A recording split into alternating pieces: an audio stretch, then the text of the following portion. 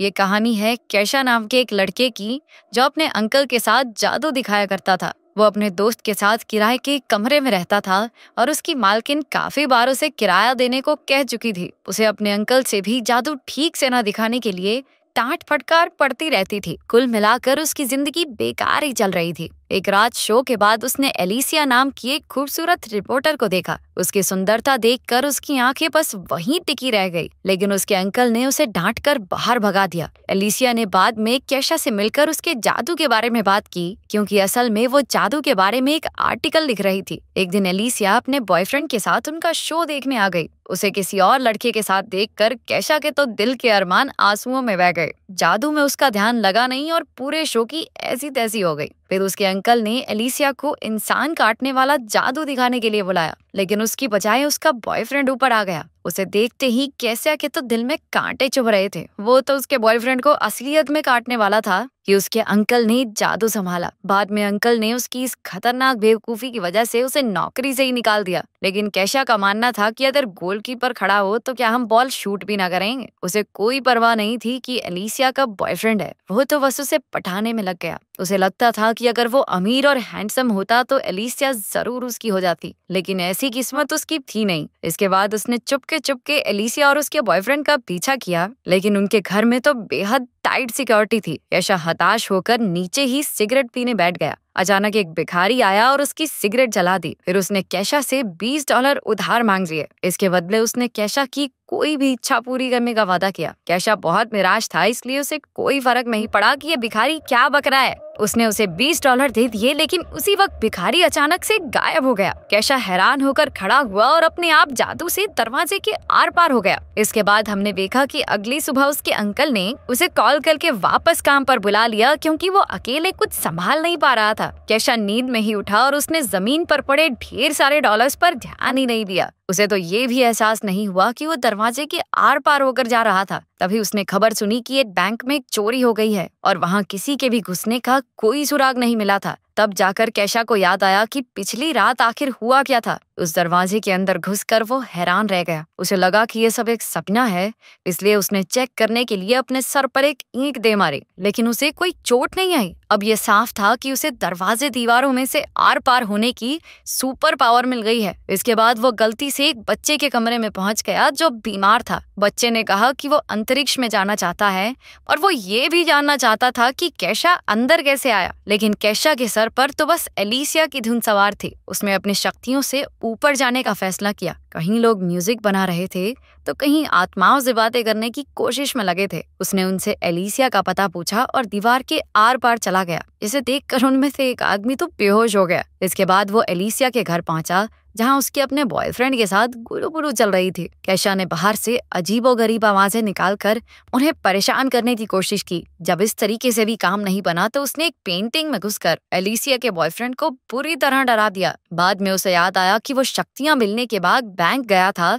और उसने ढेर सारे पैसे निकाल लिए। अब उसकी ज़िंदगी एकदम बदल चुकी थी। उसने एक ऑडी भी खरीद ली और ऐश की ज़िंदगी जीने लगा। एक दिन जब वो अपनी गाड़ी में कहीं जा रहा था तो उसे पुलिस वाले ने रोक लिया। उसने अपनी शक्तियों का इस्तेमाल करके पुलिस वाले के जूते बाँध दिए और उसे चकमा देकर भाग निकला। शाम को बैंक वाले उसके घर तक पहुँच गए, क्योंकि वो खुद ही बैंक में कागज़ पर अपना नाम और पता लिखकर छोड़ आया था। वो लोग उसे पैसे चुराने के लिए पकड़ने आए थे। अभी घर की मालकिन वहाँ आ गई और उसके दोस्त ने उसे बताया कि घर पुराना होने की वजह से अब गैस की पाइप कमज़ोर हो चुकी है। लेकिन वो तो कुछ सुनने को राज़ी ही नहीं थी। उसने गैस जला दी और उसी वक्त पूरे घर में ज़बरदस्त धमाका हुआ। अगर कैशा अपनी शक्ति शक्तियों का इस्तेमाल करके उन्हें ना बचाता तो सब के सब जलकर खाक हो गए होते। इसके बाद कैशा और उसका दोस्त एक बड़े घर में रहने लगे। अब कैशा की बाकी लड़कियों से मिलकर ज़िंदगी के मज़े लूटने की बारी थी। लेकिन जैसे ही उसने अपनी सॉक्स निकाली, वो एक ही झटके में पूरी बिल्डिंग से नीचे जा गिरा, क्योंकि कैशा ने धमाके में उन बैंक ऑफिसर्स की भी जान बचाई थी। इसलिए उसका एहसान चुकाने के लिए उन्होंने उसे चोरी के केस में बचा लिया। आखिरकार अब उसकी सारी प्रॉब्लम्स खत्म हो चुकी थी। अब वो फिर से एलिसिया से मिलने पहुँचा। उसने देखा कि वो किसी किसी बात पर अपने बॉयफ्रेंड से झगड़ रही थी। कैशा ने दीवार में से निकलकर उनकी सारी बातें सुन ली और उसे समझ आ गया था कि कैशा को कैसा बॉयफ्रेंड चाहिए। अब वो उसका दिल जीतने की कोशिश में लग गया। खैर, उस भिखारी ने उसे शक्तियाँ अच्छे कामों के लिए दी थी, लेकिन लड़की पटाना भी अच्छा ही काम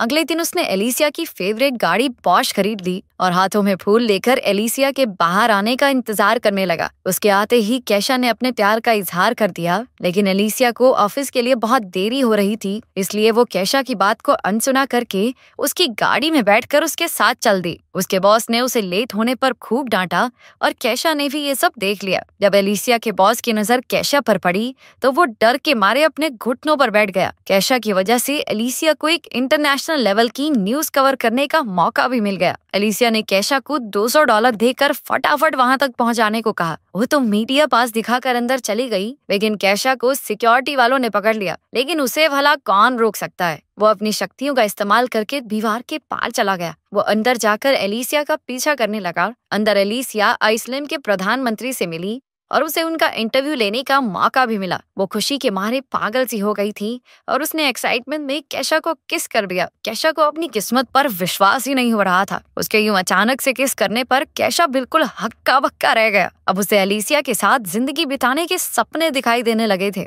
लेकिन एलिसिया ने एक ही पल में उसके सारे सपने चकनाचूर कर दिए। उसने कहा कि उसे कैशा में कोई दिलचस्पी नहीं है। उस बेचारे का दिल एक बार फिर से टूट गया। लेकिन एलिसिया के मना करने के बाद भी उसने उसका पीछा नहीं छोड़ा। उसके करीब आने के चक्कर में कैशा उसके ऑफ़िस में आ पहुँचा और दीवार के पीछे छुप कर उसे छूने लगा। वो छिप कर एलिसिया को किस करना चाहता था, लेकिन अचानक वहाँ कोई दूसरा आदमी आ गया और कैशा का निशाना चूक गया। कैशा की ही वजह से एलिसिया के बॉस ने उसे एडिटर इन चीफ की नौकरी ऑफ़र की। उसने ये सब इसलिए किया क्योंकि गाड़ी में एलिसिया ने बताया था कि एक दिन उसके आर्टिकल्स पूरी दुनिया पढ़ेगी और एडिटर इन चीफ बनना उसका सपना है। लेकिन इतनी कोशिशों के बाद भी एलिसिया उससे इम्प्रेस नहीं हुई। वो अब भी अपने बॉयफ्रेंड को ही चाहती थी।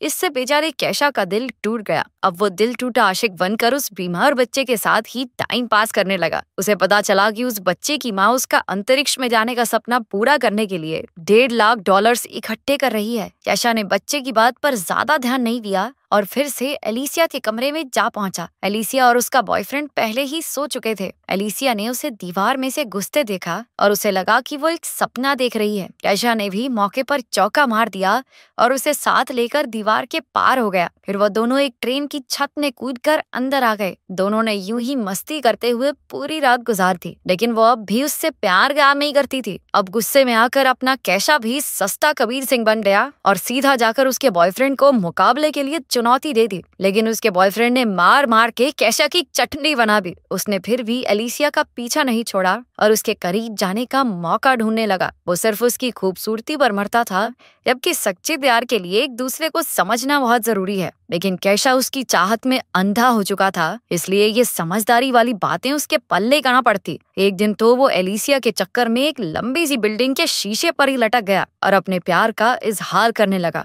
अगर लड़का रोमांटिक बुरा है दरअसल वो बहुत सारे लोगों के सामने उसे प्रपोज करके उस पर हाँ कहने का दबाव बनाने की कोशिश कर रहा था, लेकिन इसी हीरोपंती में वो खिड़की से नीचे गिर पड़ा। अगर उसके पास उस भिखारी की दी हुई शक्तियाँ ना होती तो अब तक तो वो भगवान को प्यारा हो चुका होता। उसे गिरता देखकर एलिसिया डर के मारे बेहोश हो गई और उसे हॉस्पिटल में भर्ती करवाना पड़ा। कैशा को डर था कि गिरने की वजह से उसके दिमाग के स्क्रू ढीले ना हो गए हों। इसलिए वो भी अपना सारा सिस्टम चेक करवाने हॉस्पिटल में पहुँच गए। तभी उसे वहाँ वो बीमार बच्चा दिखा जिससे वो बातें किया करता था। असल में वो एक लड़की थी जिसे ब्लड कैंसर था और इलाज की वजह से उसके सारे बाल झड़ चुके थे। उसने बताया कि उसे इलाज के लिए एक लाख डॉलर चाहिए और अब तक उसके पास सिर्फ़ पचास डॉलर ही इकट्ठा हुए थे। उसकी परेशानी समझ कर कैशा को एहसास हुआ कि उसे अपनी शक्तियों का इस्तेमाल लड़कियाँ पटाने के लिए नहीं, लोगों को बचाने के लिए करना चाहिए। इसके बाद उसका दिल पिघल गया और उसने अपने सारे पैसे उस लड़की को दान कर दिए। एलिसिया को जब इस बारे में पता चला तो वो